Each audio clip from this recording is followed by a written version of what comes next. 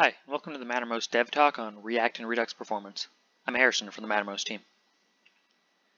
So today's talk is going to be all about performance tips and things that we've learned to do and not do at Mattermost when we're trying to improve the performance of our apps. Uh, first off, I'm going to be talking about the more React side of things, particularly on reducing re-rendering of components. And then I'm going to be going, switching over and talking about Redux and things you can do there. So first off, just a quick summary of the React component lifecycle. I'm not going to go into too much detail about it because only a couple of these methods are actually really helpful for improving performance. However, I'm going to be talking about them in kind of most to least important order. First off, we're going to have should component update, and then render, and finally component will receive props. Just a quick note as well, um, component will receive props and a couple of the other methods are being deprecated in React, and so they'll be removed at some point, presumably. Um, but at least component will receive props will be replaced by get derived state from props, which frankly fixes a lot of the issues you can have when implementing component will receive props poorly. Yep, so first off is should component update. Um, basically, the main reason that should component update is incredibly useful for performance is that it controls whether or not a component will actually go through the process of rendering um, it takes in or it receives the next props and the next state that the component will have, and you're able to compare them against the existing props and state to see if it should re-render. Um, by default, if you're extending React.component, it will always re-render, which is obviously not ideal. So generally, if you're implementing should component update, you'll just be checking to see if any props or state of state has changed, and if it has, then it'll re-render. Um, you can see on the right kind of an example from an older component in our web app where we loop through every single prop, check it. We well not loop, we go through every single prop and check it, every single state field to check it, which as you imagine gets really tedious and kind of annoying if you miss one and then your component doesn't re-render at the right time. Um, but thankfully there is React.pure component. So if you extend React.pure component, it gives you roughly the equivalent of should component update, you can still implement the method yourself if you want, but it's not usually necessary.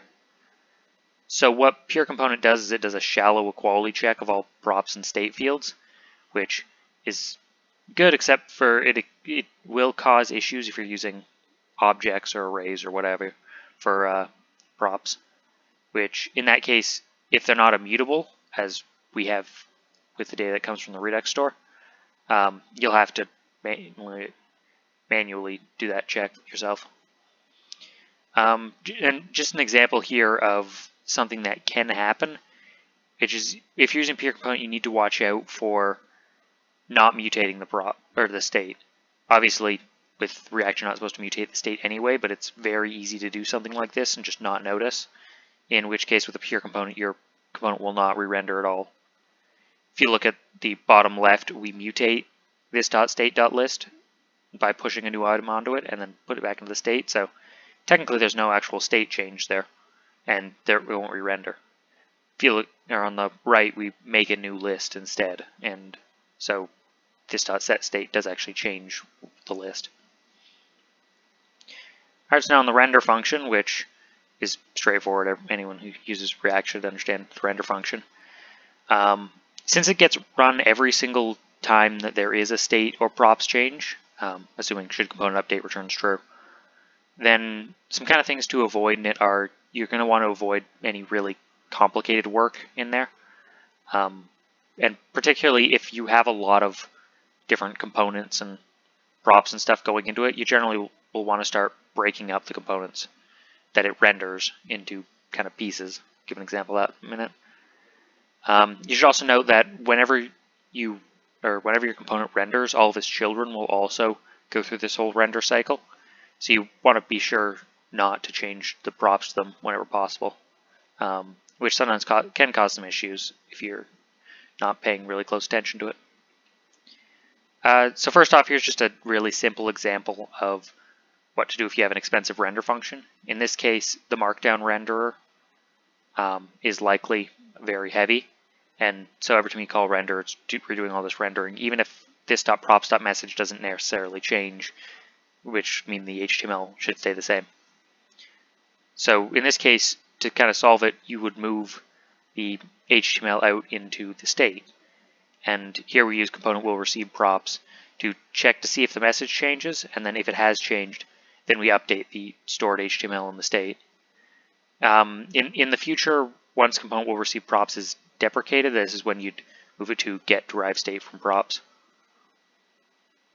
Um, here's another example. So this is for a component that's a list of some sort of item. There's a lot of work being done here, and the thing with this is that anytime any prop changes, the entire thing will re-render and it'll send a bunch of stuff out to React to actually convert into HTML. And particularly, like if the title changes of this, you're re-rendering all the list items, you're re-rendering the search box stuff. It's all stuff that really shouldn't be necessary. So what you can do is break parts these up into smaller or into separate components. So when in this example, say the title changes, the you're now telling it to render a new filter box and new list items, but because the props those are the same, they won't re-render, um, and it kind of saves a bit of work. And uh, all right, here's an example where it doesn't look like the props art would be changing. Like if you just call this render function repeatedly, it looks like it should kind of return the same thing. The thing is, and this is a kind of common issue that we run into, is that since it's an, we're using an anonymous function for the onClick handler for the message button, it's actually passing a, a new method or a new function into message button each time this renders, which will cause message button to re-render or re-render repeatedly as well. But in this case, it's pretty easy to solve. You just move it up to be a method. Uh, sometimes it gets to be a bit more difficult if you're trying to pass in arguments or anything, but in that case, you generally end up uh, refactoring it to make it its own component because then that component's method will be able to, or will, will always be consistent and be able to pass the arguments down as it needs.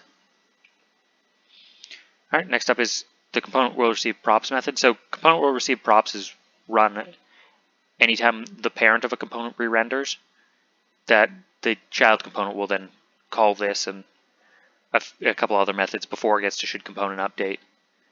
So the big thing about this is that regardless of if props or state actually changes, this will always be called. So for example, if you have code like the uh, first example there, every single time the props may or may not have changed, it will be calling set state and changing the state, which will mean that it'll always re-render. In this sort of case, you, do want to check whether or not like the uh, props have changed before you do that sort of step. It's similar to the markdown example we saw previously.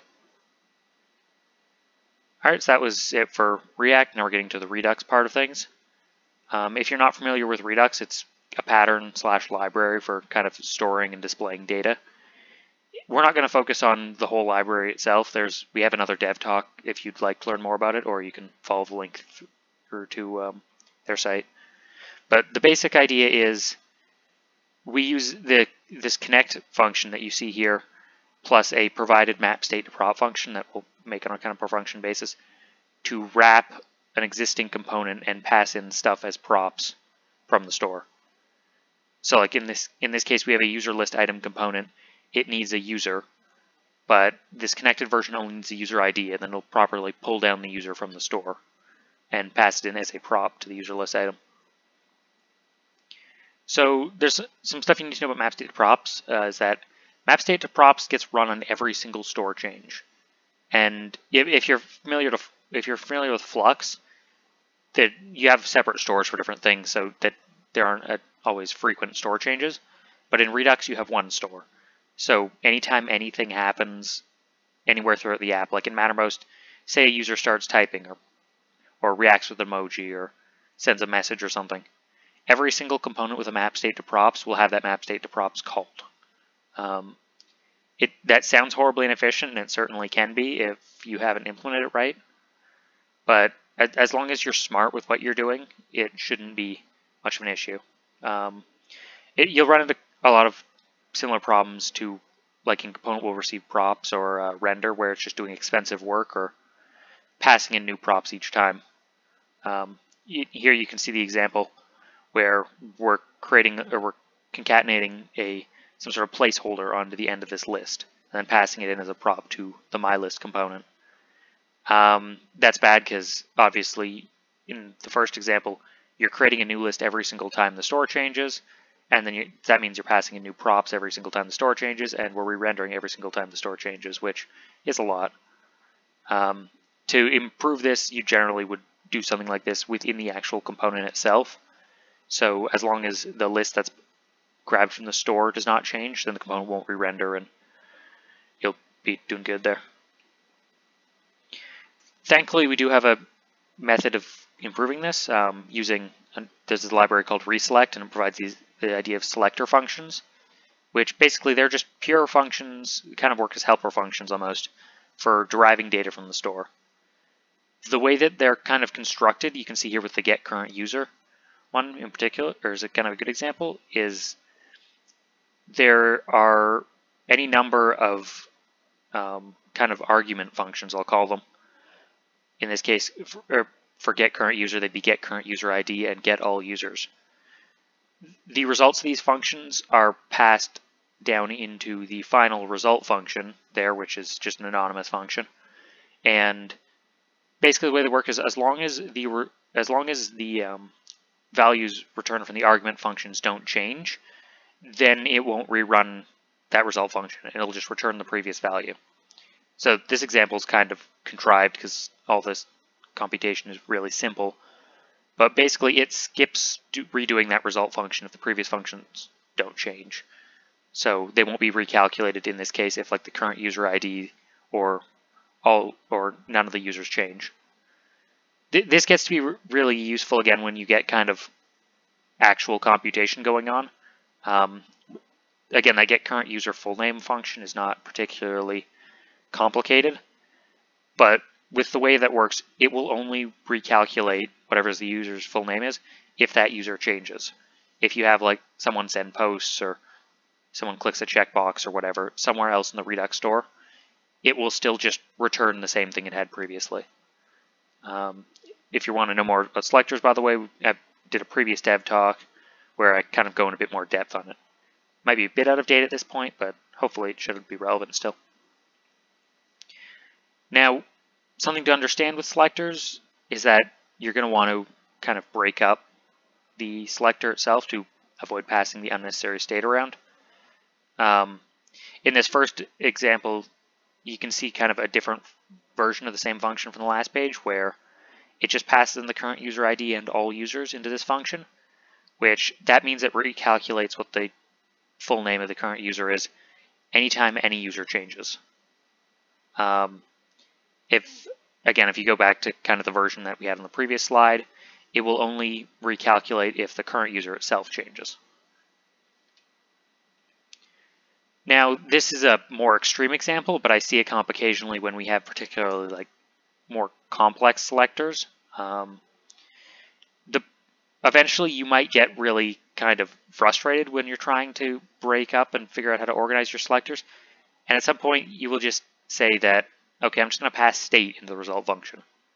Now, that is really bad because pretty much any single time, well, actually, every single time the state changes, it will recalculate. Basically, it's actually worse than just not even using a selector in the first place because it's also having to do any sort of computation to see like, okay, has the state changed? Has all users changed? Has current user changed? When, with the way this is written, we know it's true pretty much.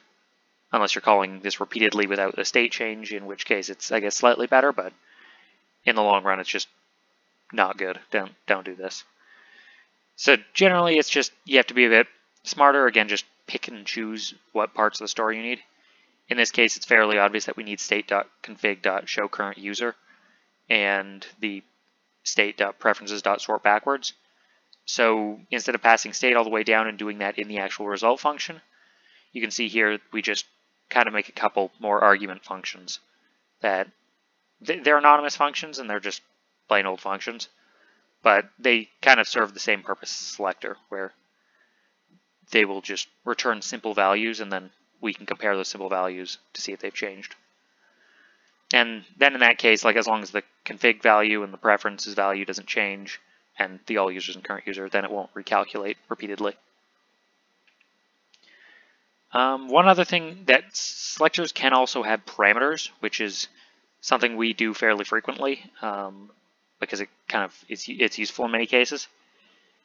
Now, as long as you pass different arguments into a selector, it will recalculate, kind of kind of the same as if state changed. But the problem that this has is, say you have or you're using a selector in multiple places and passing in different arguments, that means that it's basically not memoized and it is constantly recalculating. Again, this get user selector is kind of contrived because it's really simple anyway. But it will always, or if, if say it, in this example you have a user list item and that gets the user and passes it in like the previous one I mentioned. Um, but because we're, we're going to have multiple user list item components, it's going to be calling get user with different user IDs repeatedly. And so again, it'll be recalculating. So the proper way to fix this is to instead of having like a get user selector, you will make like a make get user kind of factory function, and that will return an instance of the selector.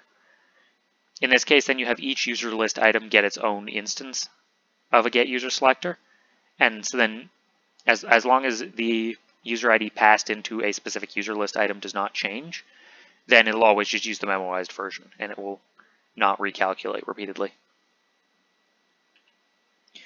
So yeah, kind of summary of the things that you can do to kind of improve performance. You're going to want to make sure that every single React component you use has, is either a pure component or uses should component update. Um, you'll want to take a look at the render method and kind of avoid unnecessary work and also break it up when you have just a very large complex component. Um, you'll want to make sure that you're not accidentally changing props in the render method. Uh, that's a big thing to do. And you'll want to remember that component receive props is called in every single props change, so again, you'll want to keep it very simple. Similarly, map state to props, you'll also want to keep as simple as possible because Again, it's being called repeatedly. Um, and if you are having to do computations there, use a selector so that it doesn't recalculate. And then, yeah, in terms of selectors, you want to keep them simple and break them up when necessary, so avoiding recalculation as much as possible. And if you're going to have parameters on the selector, you're going to want to make sure it has like a, some sort of factory function so that you can have multiple instances of it without them kind of paving over the results of each other. So yeah, that's the Mattermost Dev Talk on React and Redux performance. Um, feel free to join us if you want to discuss this or anything else on prerelease.mattermost.com. It's our community server slash kind of our, our personal server that we work on every day, and there's almost always someone around at this point. Um, you have a bunch of different channels you can join to be involved in different conversations or just watch or say hi or whatever you want to do. So, yeah, feel free to join us there. See you later.